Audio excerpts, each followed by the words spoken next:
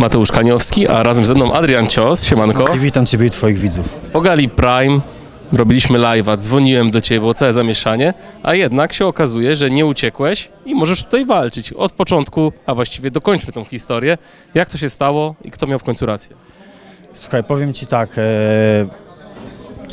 Jednej ważnej rzeczy się nauczyłem, że milczenie jest złotem i czasami lepiej pewne rzeczy przeczekać, lepiej czasami dać sytuacji, niech sama się rozwiąże, tym bardziej, że mówię, zawsze byłem osobą, która bardzo dużo krzyczała, bardzo dużo się tłumaczyła. W tym przypadku postanowiłem po prostu zostawić to losowi, tym bardziej, że prawda zawsze się obroni prędzej czy później.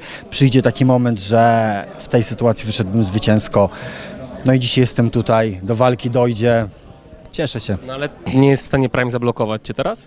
W żaden sposób nie jest w stanie mnie zablokować, ponieważ już w tym momencie jestem wolnym zawodnikiem. E, dostali pismo, odebrali pismo, które złożyliśmy razem z prawnikami e, i sprawa trafiła do sądu. Ja od tamtego momentu jestem już e, wolnym zawodnikiem. Czyli w sądzie wygrałeś? Nie, sprawa trafiła do sądu, ale w momencie, kiedy oni odebrali pismo, na ten czas jestem zawieszony, jeżeli chodzi o, o umowę związaną z Prime'em, tym bardziej, że ta umowa też nie była, mm, no łamała wiele warunków, wiele zapisów e, takich, które nie miały być praw, które nie, które nie mogły prawnie się tam znaleźć, a że ja jestem osobą, która się na takich rzeczach nie zna, potrzebowałem do tego prawników, którzy się na tym znają, mi to wytłumaczyli, złożyliśmy ładne pisma, wysłaliśmy i już teraz sprawa będzie się trzyła z nimi w sądzie, a ja kontynuuję swoją karierę.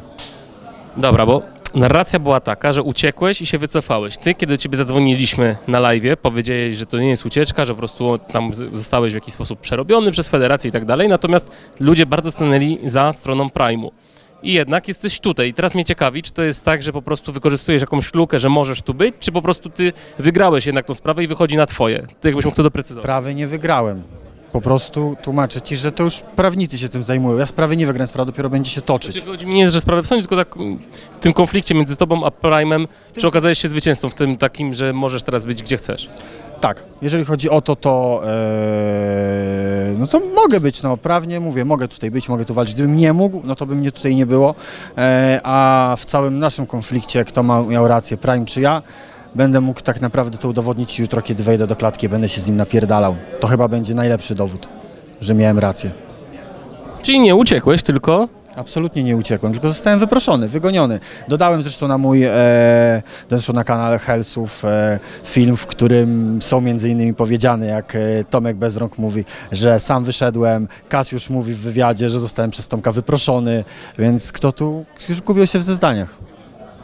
Powiem ci, że to jest tak zawiłe, że ciężko mi jest to tak jakby wszystko połączyć i teraz nie wiem za bardzo, co o tym mam wszystkim sądzić, No bo z jednej strony nie doszło do twojej walki, ty mówisz, że jesteś wyproszony, ta sytuacja jest chora. I tak podsumowując i strasznie zawiła. Słuchaj, jest, to jest chora i kosztowała mnie bardzo dużo nerwów, kosztowała mnie, na ten miesiąc miałem naprawdę najcięższy w swoim życiu, ale ciężko przepracowałem, wiedziałem, że wiedziałem, że wyjdzie na moje, tak więc e, no więc co, no jutro się napierdalam z młodym magikalem, kurwa, no co się odwlecze, to nie ucieczę. A jak to się stało, że on też się zgodził i nie jest zawodnikiem Prime? Szczerze, nie mam pojęcia nawet do końca. Natomiast widziałem cię w pi... No, dobra. No nie, nie, nawet do końca nie wiem, ja powiem Ci, byłem, nie wiem, tyle, że na głowie byłem skupiony, padła propozycja, walczysz z młodym magikalem, tutaj walczę, no i tyle. Natomiast Tomek Bezrąk wrzucił na Facebooka post, gdzie ty do niego coś pisałeś na Messengerze, na zasadzie taki... Widziałeś to? Tak, tak, bo ja zawsze byłem dla nich lojalnym i wdzięcznym zawodnikiem, nawet jak traktowali mnie e, jak śmiecia, zawsze starałem się być lojalny swojej federacji e, i owszem, on coś do mnie napisał, ja mu podziękowałem za, e, za to, że dają mi możliwości i tak dalej, no bo tak było, ja nie mówię, że tak nie było, tak, ale jeżeli doszło do sytuacji, w której oni mnie oszukali, to ja nie mogę milczeć i postawiłem się, a że się postawiłem, to mi się nie spodobało, to mnie zdeptali jak psa. I tyle, wstawił coś, co było sprzed, nie wiem, kilku miesięcy, gdzie po prostu mu podziękowałem za coś. To uważam, że chyba sobie w kolano strzelił, bo pokazał, że jednak ja byłem lojalny, kurwa, federacja, to oni wykorzystali to. Okej. Czy zdziwiło cię to, że Łukasz ci od razu strzelił liścia? E, chciał mi strzelić liścia, no ale niestety, jak widać, nie jest w takiej świetnej formie, jak mu się wydaje. A jutro się o tym przekona, że zostanie, kurwa, zmielony i zmieciony z planszy, więc, e, no co, no podpalił się, pewnie podkręcił go brat, nie wiem, nie wiem, co ma w tej, kurwa, z tym swoim pustym łbie, ale mam nadzieję, że z dniem jutrzejszym temat Magikala, kurwa, zostanie dla mnie zamknięty, bo już mam tego dość.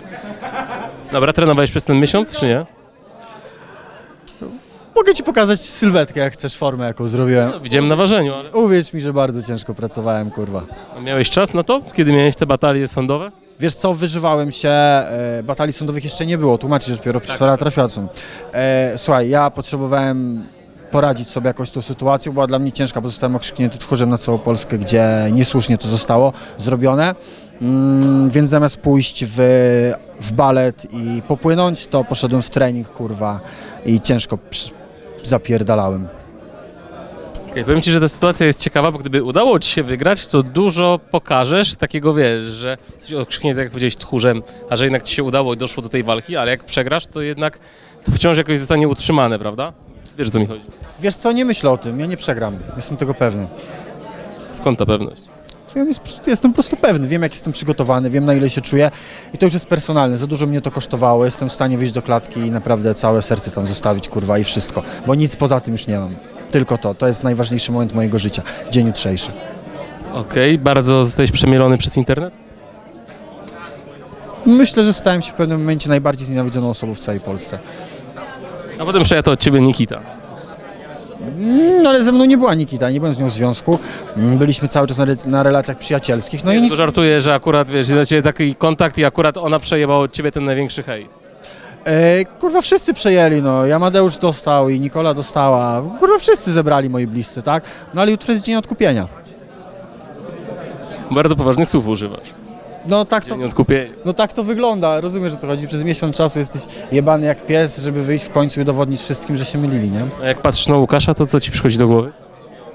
Nie no, mam to w dupie. Jutro mamy walkę i tylko to mnie interesuje. Nic więcej. Czyli absolutnie. naprawdę dużo spokojnie podszedłeś do tematu niż zawsze wcześniej. No słuchaj, no nie odpalam się, wiesz, nie będę odpierdalał. Tym bardziej, że mamy jutro walkę. Ja naprawdę, mi zależy na tym, żeby wejść do tego oktagonu i to, żeby ta walka się odbyła. Nie potrzebuję tutaj, wiesz, sztucznego kurwa dymienia, wyzywania się. To już było, już jestem tym zmęczony. Ja chcę po prostu wyjść się napierdalać. To tylko to mnie interesuje. No dobrze. Powiem Ci szczerze, że ciekawie to wszystko się potoczyło i ja się nie spodziewałem, ja do ostatniej chwili nie wiedziałem w ogóle, że ta Wasza walka się odbędzie. Nie żałujesz, że ominęliście konferencje, programy?